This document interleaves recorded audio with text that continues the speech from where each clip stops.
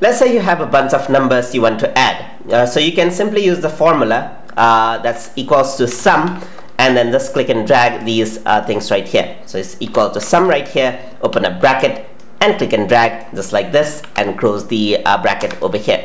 So you get the sum of numbers. But there, there's an easier way to do this. So you can simply select all of these and then simply go over here and press auto sum. So that will bring up the sum over here at the bottom row right here. So you can also optionally select all the five rows and then press auto sum and you get the uh, formula right here. Or optionally, you can also press alt equals and that will bring the sum, uh, sum on the bottom row as well.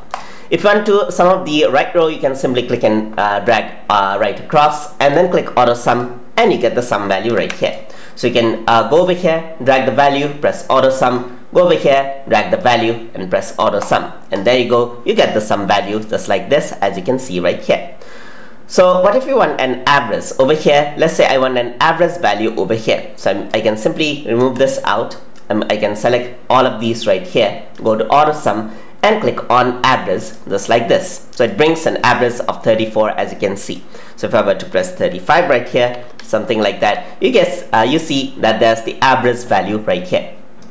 If you want the max value, yeah, you do simply just like this. Uh, just drag it out, go to auto sum arrow right here and press max. So that brings the maximum value that is 35 and you can also go for minimum value that is 34. So it actually comes across the other value as, can, as you can see right here. So you can bring up the maximum and the minimum value from the auto sum just like this.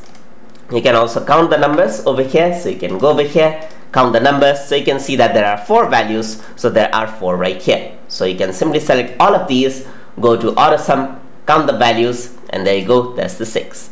So that is how you can use sum and average and some other formulas, uh, auto formulas inside of Microsoft Excel. Hope you guys learned something as always. And as always, please like, comment, share, and subscribe.